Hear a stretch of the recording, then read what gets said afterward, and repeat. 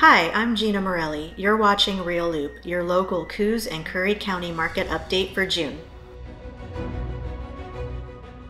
In Coos County, comparing 2021 to 2020 through June, the average sales price has increased 33.9% to $324,400, while the median sales price has increased 26.7% to $285,000. Inventory is down to 1.2 months compared to 2.7 in June 2020 and 1.3 in May 2021. Total market time for homes averaged 37 days in June compared to 32 in May 2021. 146 homes sold for an average of 99.94% of the listing price and 99.75% of the original price.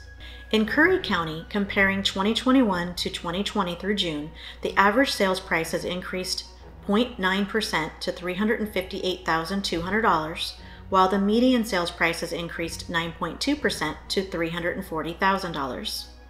Inventory is down to 1.5 months compared to 5.3 in June 2020 and 2.4 in May 2021.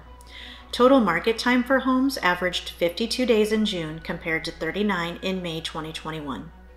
71 homes sold for an average of 99.51% of the listing price and 99.32% of the original price.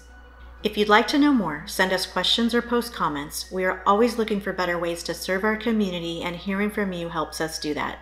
Stay safe and don't forget to follow us for more videos and updates.